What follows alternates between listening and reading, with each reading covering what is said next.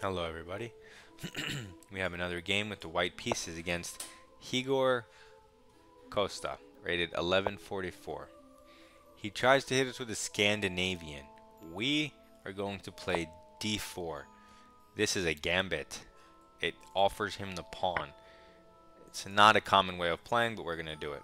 So he takes the pawn. We're just going to develop our knight, develop a piece towards the center, like nothing ever happened. It also threatens the pawn. Black develops a piece and defends the pawn. Very logical move. Um,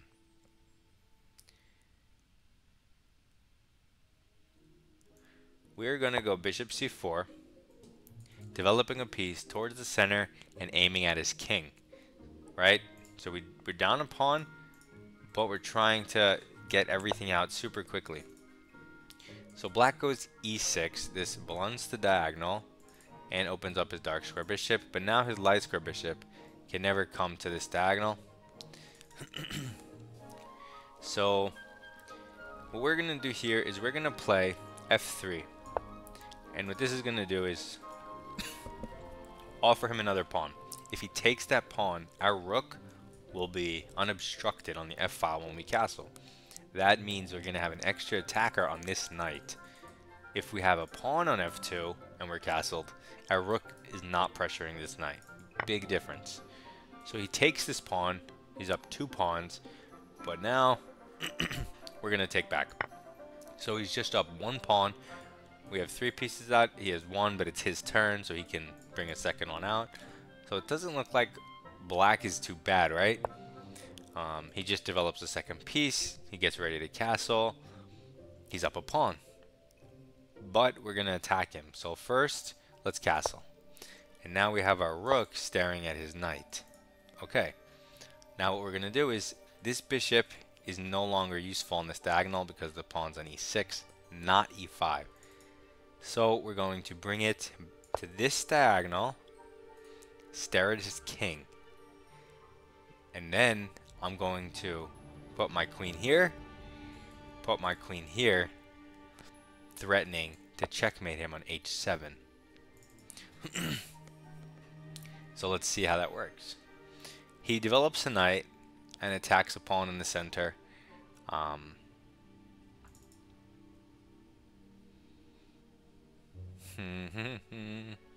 that's fine.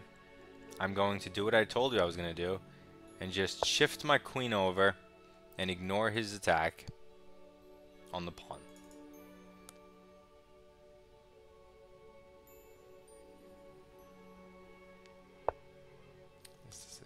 So he doesn't take the pawn. He goes e5, attacking my pawn that he could have already taken.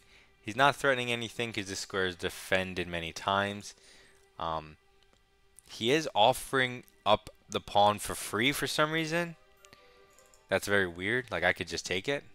And that hits his knight. Super weird. And then maybe he can put his knight here. That still looks super weird. I mean, I was going to let him take it, but I might as well take it and displace his knight. I don't know like what his follow-up is. It's a little weird. I mean, I'm not even down material now. He can take this pawn at some point, but I'm going to try to attack his king. So yeah, he does go here and try to win it back. So he has two attackers on it, but it's already defended twice. So he can't even do that. Um, weird. I could potentially kick it even though that weakens my king a lot. What else can I do? This sack, if he takes it, um, is anything hanging? Not really. we have the added option of starting with this now. We have this, but if we kick the knight, where does it go? Let's just kick the knight, because where does it go? Like, at the end of the day, he has to go here, right? And that looks bad, because I'll take it. And then, if he takes it, I'll go check. He'll move his king. Mm, not the attack I was going for, but a different attack. What else? If he goes here... I mean... I'm just going to take it. I don't want to think about that. Now, what should my follow-up move be? Once he takes here, Queen G3, he goes over and he has the rook. I'm thinking maybe Queen E4, because he doesn't have G6 anymore. He can't put the bishop here, so he has to play F5. But then en passant, and then if he takes this pawn with the rook, we give this check, he goes over. And, I mean, we have this check. And if he goes here, perhaps this check. That looks reasonable. This looks a little less good. This looks a little more good. So let's go for that. Our rooks are connected. Meanwhile, he still has two tempi at least to get his rooks touching. And we're not even down a pawn for that two tempi development lead. So he goes off of these dark squares, which might be important in defending his king, in order to improve the piece with check, but his not, nothing's looking at my king except for this bishop. So there's no attack, right? So now I get to put my king to a safer spot. H1 is safer than G1 because of this diagonal. And I got to do it for free. And is you could say, oh, well, his bishop's better and more active here, but I think he might want it on this side for his king, right? So he does play this move to stop this check. But now we can, en passant, if he takes with the queen, that's mate. So he has to take with the rook to create an escape square. Or he could try to maybe run or something, but either way, we have, look at our development towards the center. How come we do this every game? It's not by accident, right?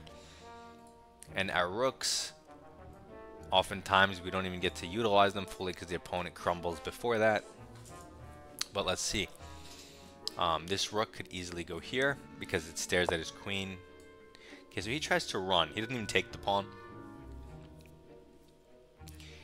Um, if you do take this, he's going to try to run this way. It looks terrible because that's a file where you can just put a rook. But you don't even have to necessarily allow that. We can maybe go here, check. Um, he can't block with the bishop because it would hang. So if you go check here, I mean, taking with the king looks suicidal. So if you just, and you can't go back, so you don't really have a choice. So this check, you either have to sack your bishop or take with the king. Um, well, let's see. Here, if he takes with the king, do, what's the checkmate? Um, well, now it looks at our rook, so that has to be checkmate. You could have gone the other way. I'm sure it's also... Uh, I didn't even bother calculating it, but if you do calculate it, I, I guarantee there's a win there also. If once he goes here, um, between the rooks over, the pawn pushes, there's got to be something there. So he does take like this, but when you see a king like this and you have this many pieces and the F file's open, you have to know there's it's game over. And you see how this F pawn missing, yes, it weakens your king, but if you can use it in an attack, look how much stronger it is than if there was a pawn here, right? Your attack is just way stronger. We wouldn't have the same checkmating ideas if, if, if we didn't have this discovery. Okay, so let's move our knight out of the way. Um, Without any calculating, I'm just going to the side.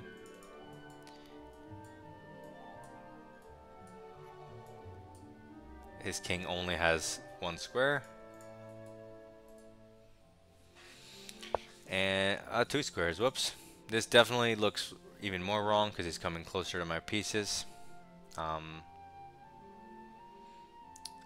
what can I do here?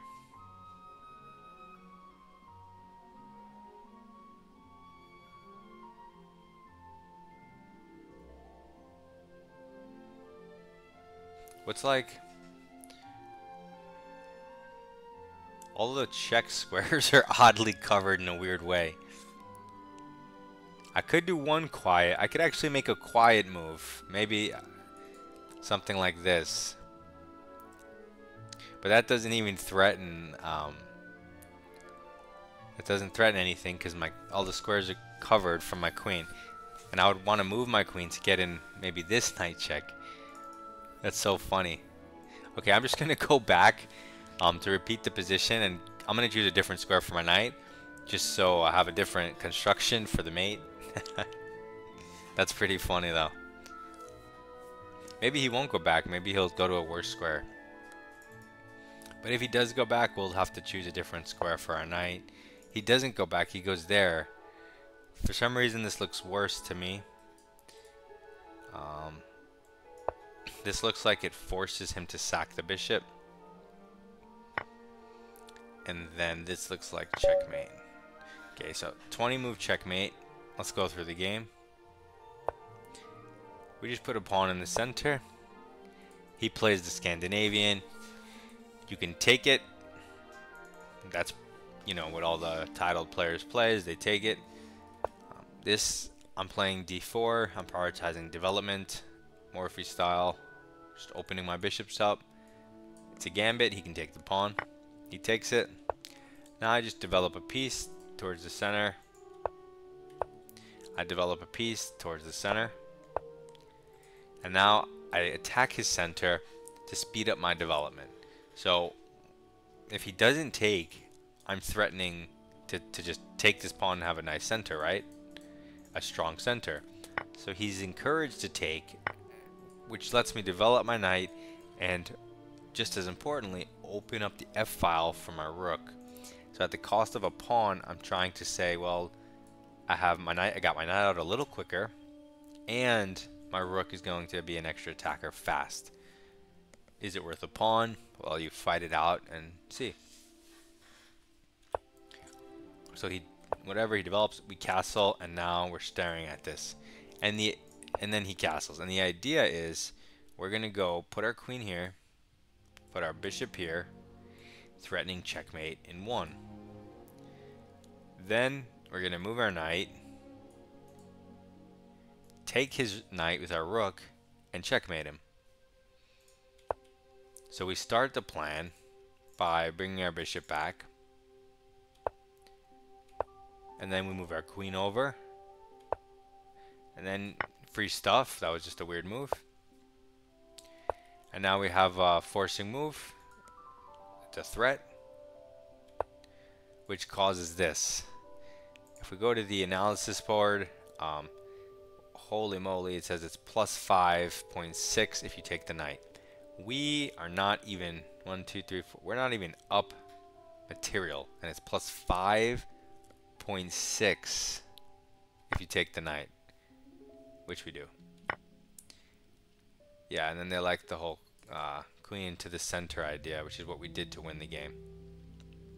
So even though I'm not up material, you can see how these ideas are so powerful yeah, we sacked a pawn, but look what it caused us. Now, granted, I think this all stemmed from this move. I have no idea what this was.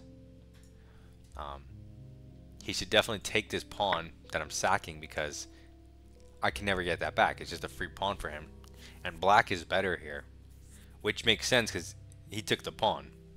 But, so this is what he definitely should have gone for.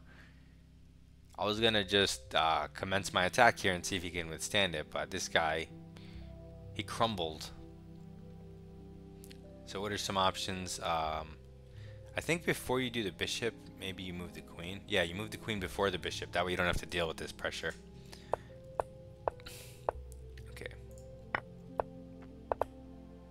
But yeah, it's it's hard to like, it's hard to withstand the the pressure even if you don't, even if you take it, right? Let's say you're black, you're up some material, fine, but uh,